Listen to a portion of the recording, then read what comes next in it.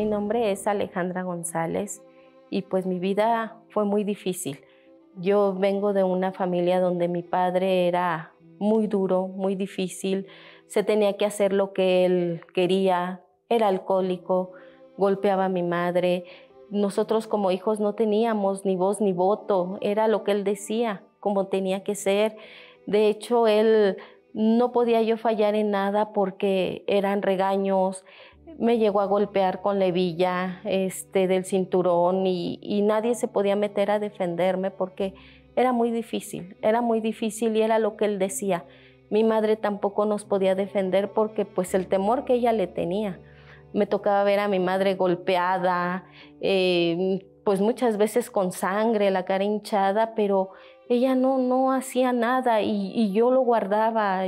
Yo llegó un momento en que enfrenté a mi padre pero pues se me voltearon todas las cosas porque yo no tuve el apoyo de mi madre en ningún momento. En una de las fiestas de mi padre, de las reuniones que se hacían, pues yo fui tocada, tocada por una persona y pues es algo muy fuerte, muy feo, pero no sabe uno qué hacer, pero cuando yo lo quise hablar, pues mi familia no me creyó, no, no, no, pues no, me tacharon de mentirosa y, yo aún así veía cómo mi padre eh, le hablaba a esa persona como si su gran amigo.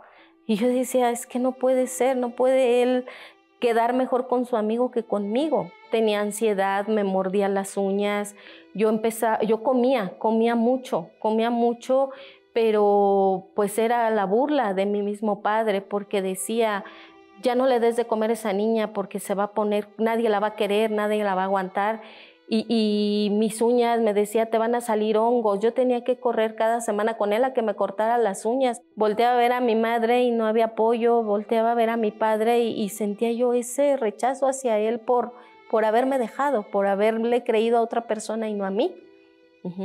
Entonces, pues es cuando yo pienso buscar una salida, quitarme la vida. Yo veía sí lo pensé así, me aviento de un puente, este, ya no llego a casa, si me pierdo, si me atropellan o qué me tomo.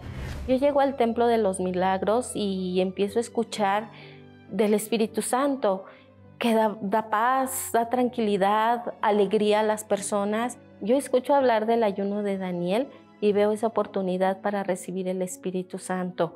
Entonces yo me entrego totalmente en ese ayuno. Yo tuve que renunciar al orgullo, al rencor, al odio, a todo ese resentimiento que yo sentía hacia mi padre, hacia mi madre, porque yo pensaba que, que ellos me habían destruido la vida. Y, los perdoné y dejé todo, todo ese rencor, me entregué a Dios, dejé eh, pues ahora sí que las cosas que, la mentira, dejé muchas cosas que a mí me estaban impidiendo recibir el Espíritu Santo. Cuando el Espíritu Santo se derramó en mí, fue una alegría, fue una paz que yo no, no, no entendía qué pasaba. y decía, ¿qué, qué, qué es esto? ¿Qué tranquilidad? ¿Qué alegría? yo sonreía, yo, yo, yo me sentía diferente, yo sentía que tenía algo, algo, ¿sí? Pero fue una paz tan grande que creo que hasta el caminar me daba una paz, una tranquilidad. Hoy en día no tengo más ansiedad, no tengo más depresión, la verdad no tengo esa ansiedad de comer. Mi papá dejó el alcohol, se acabaron las agresiones, yo me llevo muy bien con ellos, yo no, no hay una cuestión que yo tenga sobre de mí, algún odio, algún coraje, nada, nada. Yo los veo con amor, los veo con cariño. ¿Por qué? Porque realmente Dios, Dios entró, entró en nuestras vidas y Él fue el que hizo todo esto. Realmente, pues solo todo se lo debo al Espíritu Santo.